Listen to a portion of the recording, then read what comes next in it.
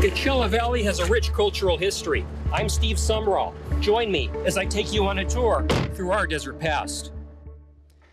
Well, in honor of Black History Month, our Steve Sumrall looks back at the legacy of a man who broke through the color barrier of the architectural design profession to build some of the most recognizable buildings in Palm Springs, as well as some of the most iconic structures in the world. This is Paul Revere Williams, architect of the stars and our part of our desert past.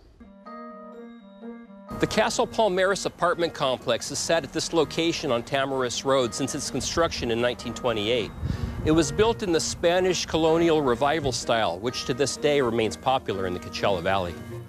The purpose of this structure was to provide housing to a growing population, since the number of seasonal visitors has grown to about 15,000 after World War I. The following year, a filled apricot farm was renovated into the Deepwell Guest Ranch, a Western themed resort which became an ideal destination for the rich and famous. The Castle Palmaris apartment and the Deepwell Guest Ranch was designed by an architect named Paul Revere Williams. You may not know his name, but you have seen his work. In fact, the first thing that many people see after entering California is Williams' iconic structure, which towers over LAX. The Beverly Hills Hotel is another one of Williams' memorable designs.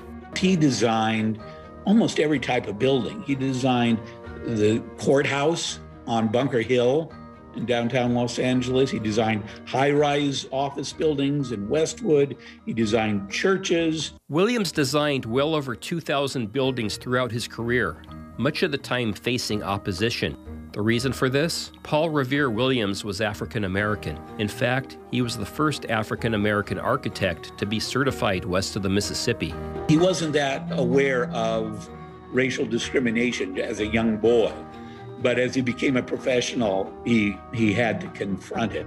He was shocked and disappointed and even angered by that sort of discrimination. Williams had been warned that entering his chosen profession would be an uphill battle. Architectural historian Alan Hess explains. One of his uh, school teachers, when he expressed an interest in architecture, the school teacher told him, uh, no, you become a, a doctor or a lawyer because African Americans will hire a black doctor or a lawyer, but there isn't enough money in the African American community to support an African American architect. With courage and dignity, Williams was able to endure despite the discrimination he faced every day. Most notably, figuring out how to work in a handshake business where nobody wants to shake your hand. Out on the building site and talking with the client or contractors, builders, etc., he would keep his hands in his suit coat pocket to, to avoid uh, the white client or contractor having to shake his hand. Another challenge how do you show your work to potential clients when they refuse to sit next to you? He uh, had this talent where he could sit on the opposite side of the table and draw upside down so that the white client on the other side would be able to see the drawing and understand it, but not have to uh, go through the awkwardness of many of actually sitting next to an African American. And because of the social climate at the time, Paul Revere Williams was not allowed to live in any of the neighborhoods of the homes which he had designed. He was building huge, beautiful mansions in Beverly Hills and in Flintridge. And he himself lived in a very modest bungalow in an African American area. Williams would return to Palm Springs in the mid 40s. With fellow architect A. Quincy Jones, he would redesign the Palm Springs Tennis Club in 1947. The additions to the property which the two men created fit well into the natural scenery. Instead of distracting from the desert landscape, they enhanced it. Throughout the late 40s and early 50s, Williams and Jones would continue to modernize Palm Springs. Their next project would be the Town and Country Restaurant and Shopping Center. You uh, walk in down a narrow alleyway off of Palm Canyon into this beautiful courtyard, and that's where the stores and the restaurants on two stories were. Now, this area is known for housing the original Desert Sun newspaper office, as well as Zelda's nightclub, which would eventually take over the restaurant location. Then, in 1952, Williams was tasked with updating the iconic El Mirador Hotel. This more glamorous structure became a hot spot for movie stars, moguls, and politicians. The El Mirador also housed the valley's first television station, an NBC affiliate which you may be familiar with. In 1954, Williams designed the first first home in Thunderbird Country Club. It was an informal ranch home built for Lucille Ball and Desi Arnaz on a plot of land that Desi supposedly won in a card game. Frank Sinatra had him design a house in uh, Los Angeles, up in the hills. Williams also built homes for Lon Chaney, Tyrone Power, and Barbara Stanwyck, just to name a few.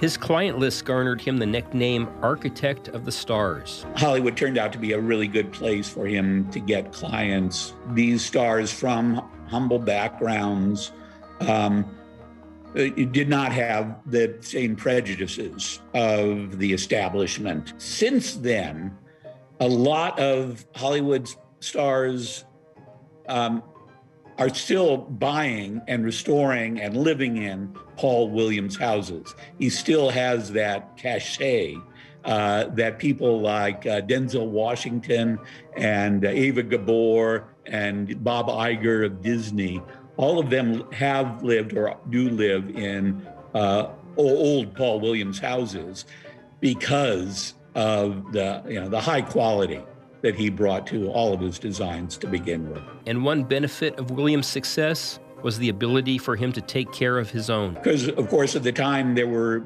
often racial restrictions where African Americans could not buy in certain housing tracts. Uh, so he uh, would build for the African American community. In 1980, Paul Revere Williams passed away at his home in Los Angeles. Then, in 2017, a posthumously received award brought a renewed interest in his career. He won the uh, gold medal of the American Institute of Architects a couple of years ago. Of course, it was 40 some years after he died, but nonetheless, it uh, was a, uh, an honor. For our Desert Past, Steve Sumrall, NBC Palm Springs, News First.